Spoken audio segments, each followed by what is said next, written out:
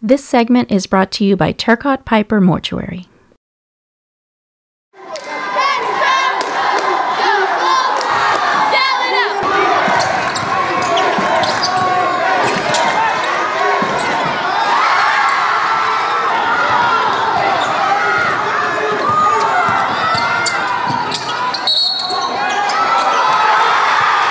we had a very good first half. We moved the ball well. We played good defense.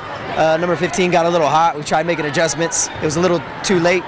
Uh, good thing is we have three guys coming back from the from, from our regular six, I guess, that we have keep going. When we started this program, it was zero and eight the year before, and the seniors was the final season, and we made it to regional quarterfinals. Just keep doing what we've been doing.